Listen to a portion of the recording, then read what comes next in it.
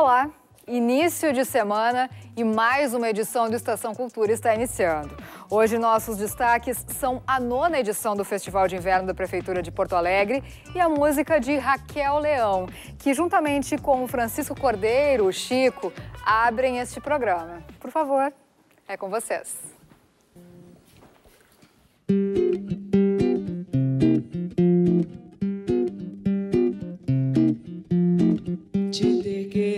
Saber parar não cansa crer. Meu corpo quer mais você. No vai e vem adormecer, arrepiar, acelerando em mim um vulcão. E você não quer se entregar, desejar o prazer,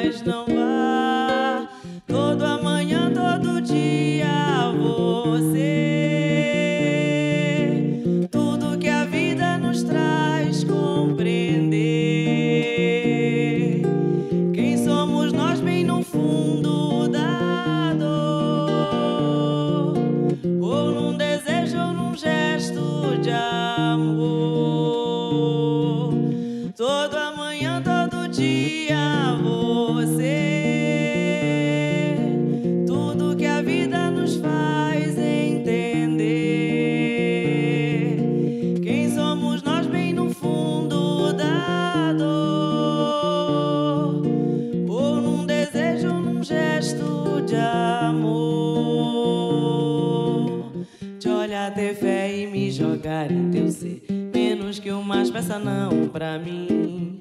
Meu corpo quer o teu ser loucura tremer e você não quer se entregar.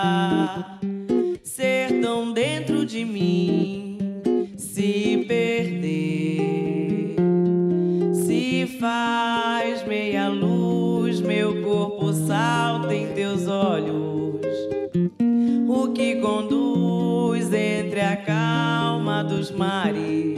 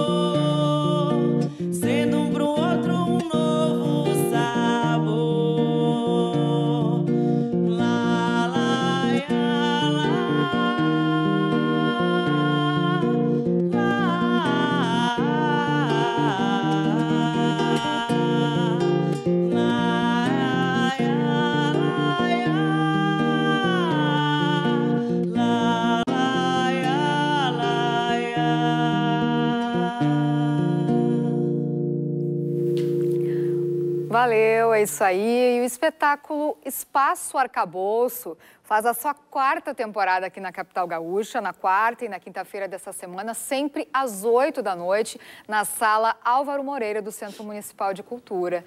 Presentes nessa montagem, elementos circenses, da dança e da performance. E quem nos conta mais agora é Gabriel Martins, diretor e malabarista.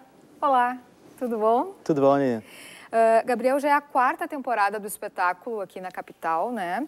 Eu queria que tu começasse nos contando, assim, como é que está essa produção contemporânea circense aqui, que a gente tem a impressão que está aumentando bastante nos últimos anos, é isso mesmo? Exatamente, a gente está tendo ah, uma, uma produção bem diversificada na capital gaúcha aqui, né?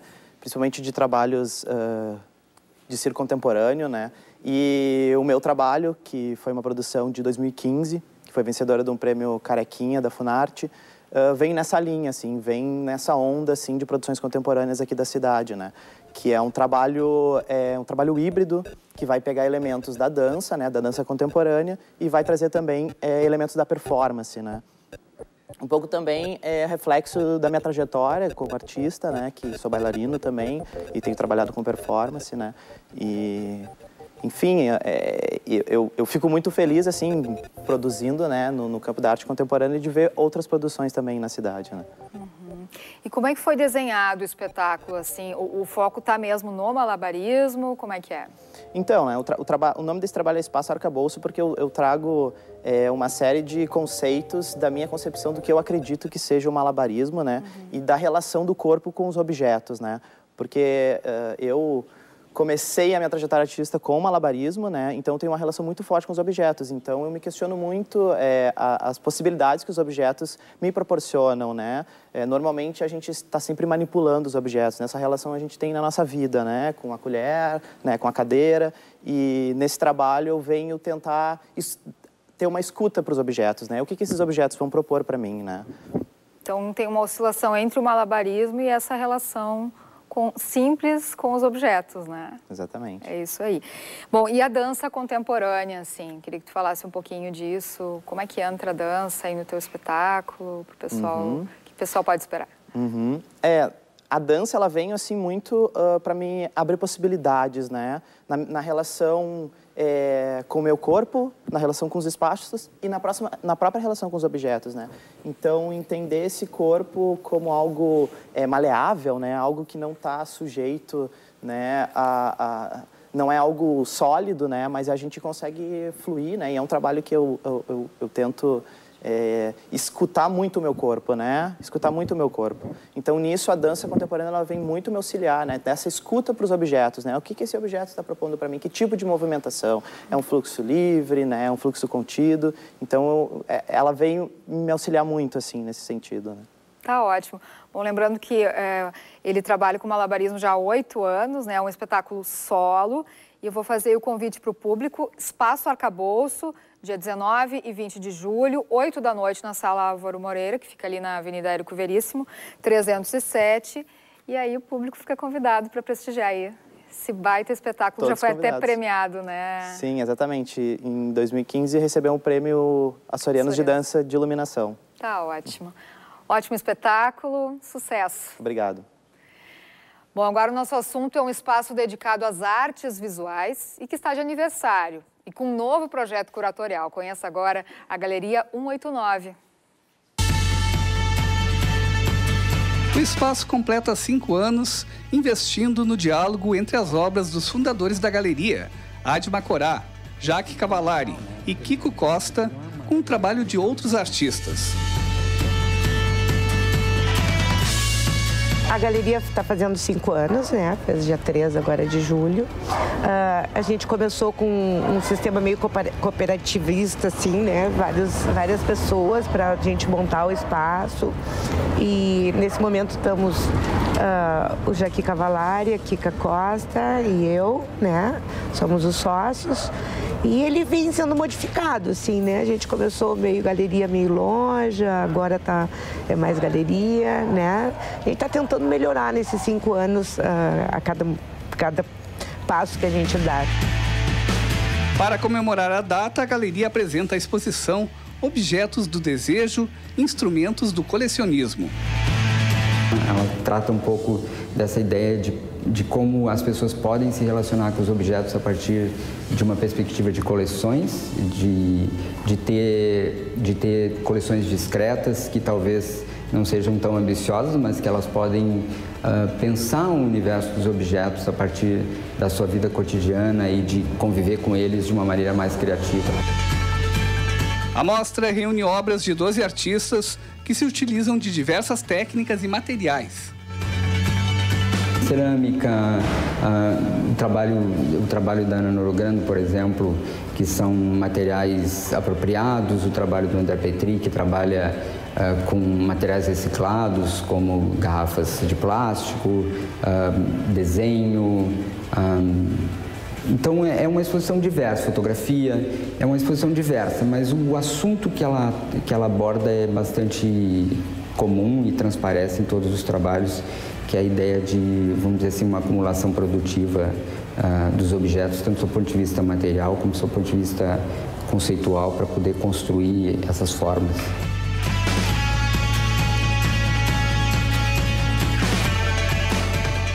A exposição que marca os cinco anos da Galeria 189 pode ser vista até o dia 2 de setembro aqui na Avenida Bagé, no bairro Petrópolis.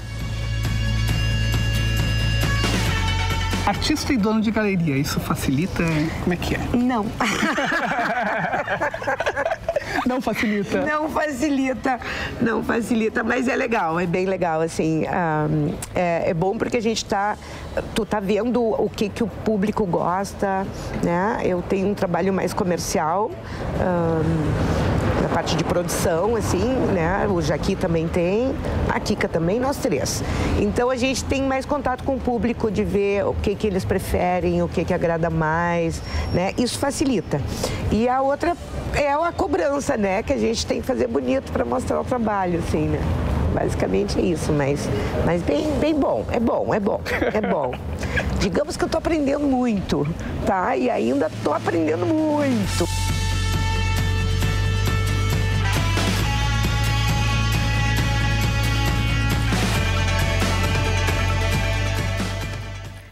É isso aí, agora um breve intervalo, já já nós voltamos.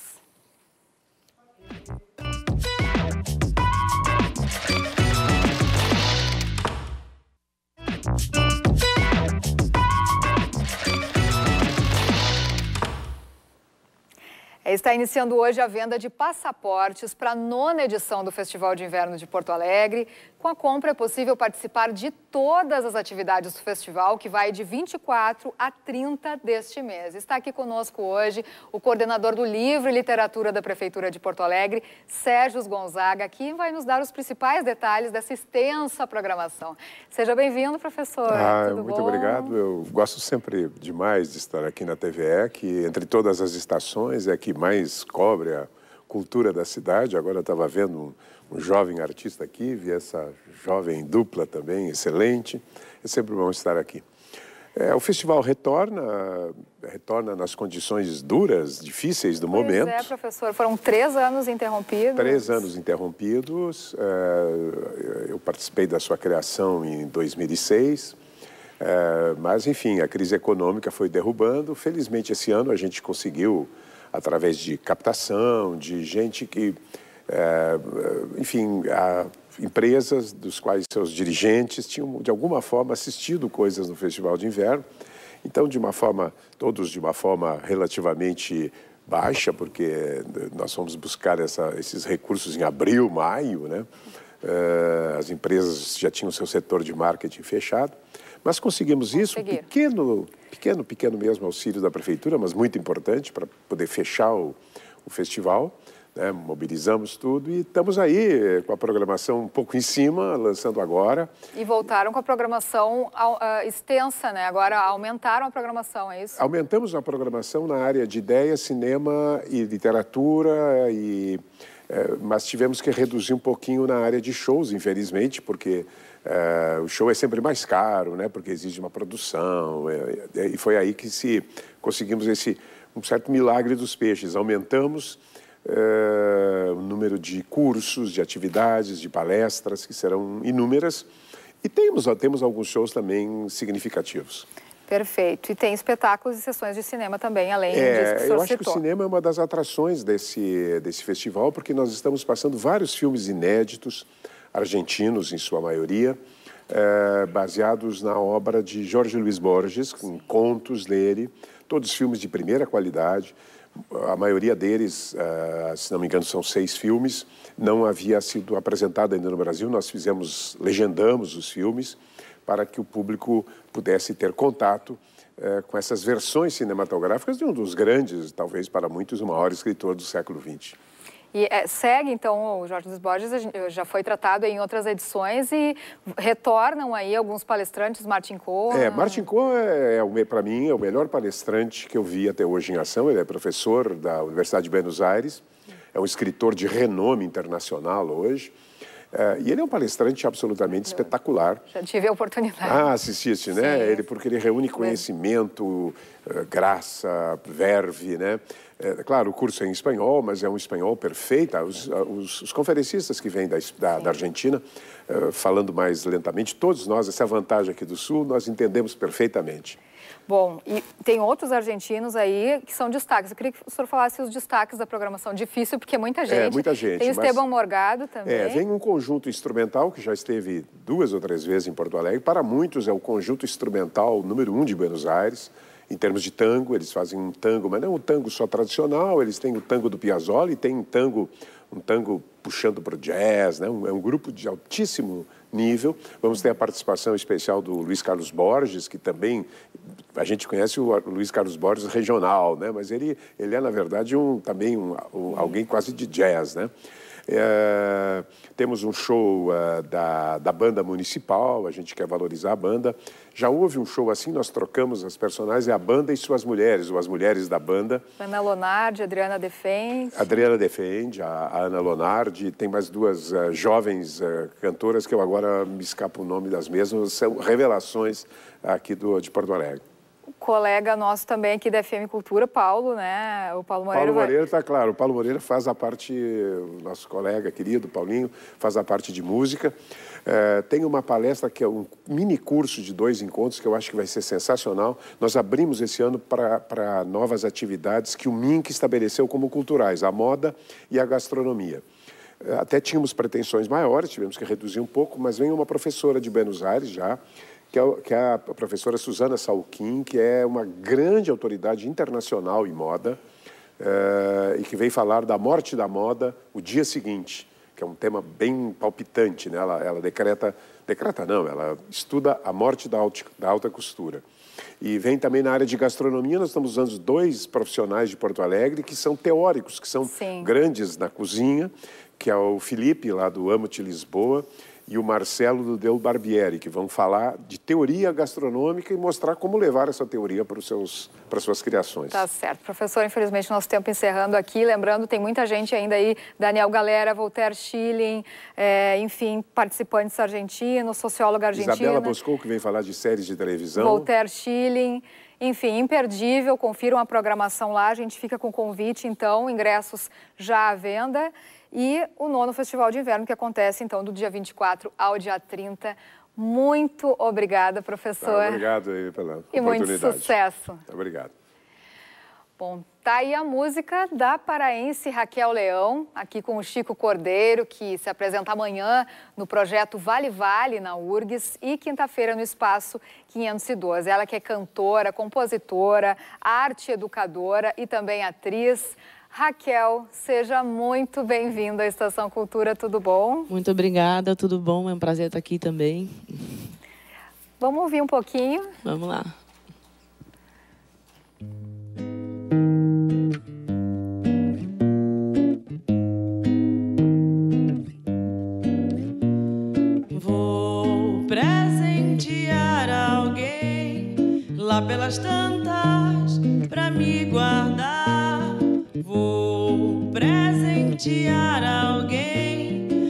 Pelas tantas pra me guardar. Vou levar uma herança de barro de cá pra lá pra espantar coisa ruim. Vou cavucar o lampejo de um fóssil pra resguardar a esperança de alguém. Vou presentear alguém lá pelas tantas pra me guardar.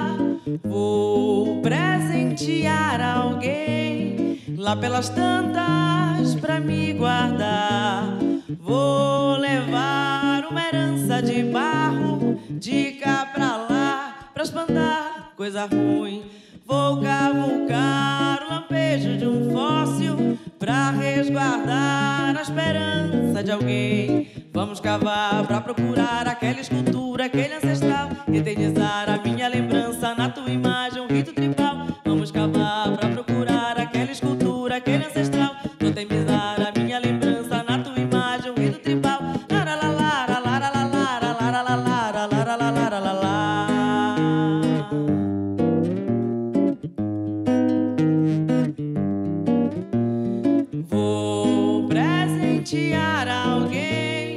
lá pelas tantas pra me guardar. Vou presentear alguém lá pelas tantas pra me guardar. Vou levar uma herança de barro de cá pra lá pra espantar coisa ruim.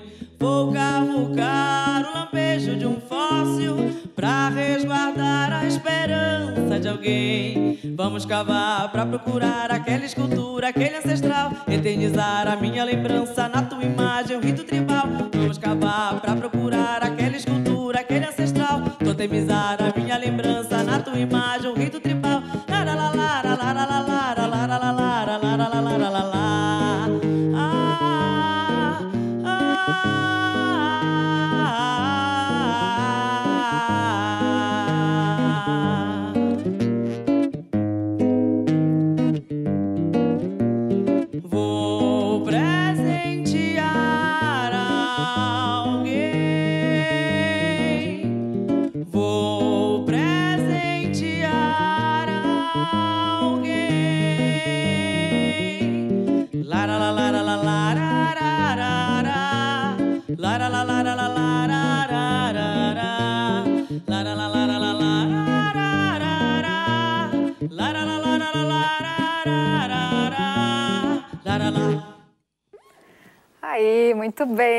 tudo bom, gente?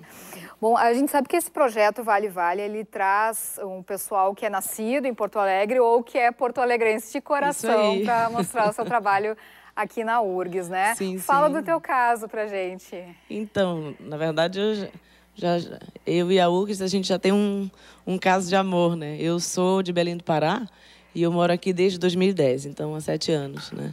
Eu sou cantora e compositora, mas aqui especificamente a minha música apareceu mais, né? Eu passei a compor mais aqui depois que eu encontrei vários outros grandes amigos hoje, músicos também, depois que eu entrei para um, um coletivo que hoje não existe mais, mas foi um coletivo muito importante para vários vários músicos como eu e como de fora e de Porto Alegre, que é o é, Autoral Social Clube. Então, a partir dali, a minha música começou a né, se personificar, né, se, se a gente pode dizer desse jeito, né? E também foi tomando rumos assim, né? É, a gente é muito do Rio, é, é muito rio, é muito muita água em Belém do Pará. Então eu imagino que os rios de lá foram se cruzando com com as águas daqui, né, na minha música e aí é o que eu sou hoje em termos de música, né? Pois é, como é que tu consegue caracterizar assim, o teu estilo musical, que tem uma mescla aí bem grande, né? Uhum. Eu fiquei um tempo, né, ainda um pouco preocupada com essa coisa da classificação, né? Eu, às vezes eu queria fazer música do jeito tal, do jeito tal, mas ela saía do jeito dela. Mas uma, uma vez um amigo meu, que é um grande percussionista daqui, que é o Bruno Coelho, uma vez virou para mim e disse assim: "A tua música é afro-amazônica, né? Ou afro tudo, né? Então, na verdade, são influências de vários lugares, né? De, da minha história. Eu escuto muitas coisas, mas essencialmente eu escuto muita música brasileira. Carimbó, Carimbó, cúmbia, lundu. É, cúmbia eu adoro. É, que bom que agora a cúmbia chegou, mas aqui também, né? Abriu esse espaço mais latino, né? A influência paraense é bem latina, né? E negra, né? Essencialmente negra, como tem aqui também, né? Uma uma música muito negra também aqui. Então, eu acho que a gente se encontra muito nesse lugar. Certo. Conta como é que eh, isso que é tão característico na tua música, que é a força negra, da força feminina negra né, na música, como é que isso vai estar presente no teu espetáculo aqui e também as influências de Porto Alegre na tua música, que acabou te influenciando aqui também, né? Acaba que os músicos que tocam comigo, todos são de Porto Alegre, né? Então, cada um vai colocando coisas suas, né? As suas vivências, né? Nessa minha música, né? E, essencialmente, né? Por quem eu sou, eu sou negra e uma mulher negra. Então, eles, as pessoas vão ver na minha música a resistência. Né? É muito difícil ser artista no Brasil e é muito, muito mais difícil ser artista negro e é bem difícil ser artista mulher negra. Né? Então, eu acredito que quando as pessoas me veem, quando as mulheres me veem, e muitas delas, eu tenho muitas amigas aqui que são compositoras e negras, né? Pamela Amaro é uma delas, né? É um espaço que tu vai abrindo para outras mulheres também se sentirem sim, fortalecidas sim. e não, eu também posso fazer isso, né? E é uma luta, é uma resistência. É isso que as pessoas vão encontrar, certo? Bom, Raquel, eu já vou fazer o convite aqui, então, Raquel Leão e convidados meio-dia e 30 Isso. do dia 18, no Palco Grego, no campus do Vale Isso. da URGS. Vão lá. Raquel, e convidados. Tu quer falar, assim, rapidamente o, os convidados? É, vai ter Bruno Coelho, vai ter Vinícius Marques, vai ter o Rubens, vai ter o André Paz, vai ter a Jéssica Berdê, né? São que vão estar comigo. E lá no 512 também, quinta-feira às 20 Isso. horas, né, vai ter o Pramit, que é um grande parceiro meu de composição, inclusive né? Enfim, vai ter uma, uma galera. Que horário no 512? 512 é às 10 horas. Ah, vai ter o Arthur, vai ter o Martin, vai é ter o Eduardo, né, também tocando, fazendo uma pressão, que é a galera da Turucutá, os meninos da Turucutá também vão tocar comigo. Tá legal. Então, pessoal, fiquem aí com essa música maravilhosa para encerrar o programa. A gente volta amanhã. Tchau, tchau.